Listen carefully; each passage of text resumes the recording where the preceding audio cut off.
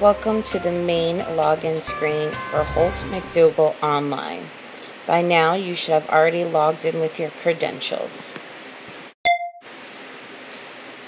This may take a moment. Once it loads, you should be at the dashboard, which is the main home screen once you have logged in. As you can see, is an interactive user-friendly interface from resources to links for reports and assignments. It's very similar to programs we've used in the past, such as Discovery and Odyssey. Also is the report section where you are able to monitor students' progress as well as how well they completed an assignment. Again, the resources allocated to you are available once you have set up a class. To do this, we actually need to go to the Learning Management Center.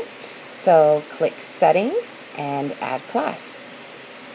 Once this loads, you can see we have Home Help Logout, and to the left is your information regarding your account.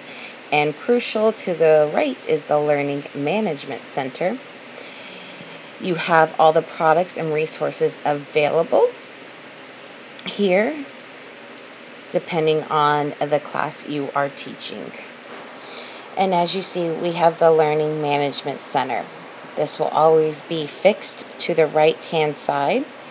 This panel has links that will help you set up, edit, or maintain a class.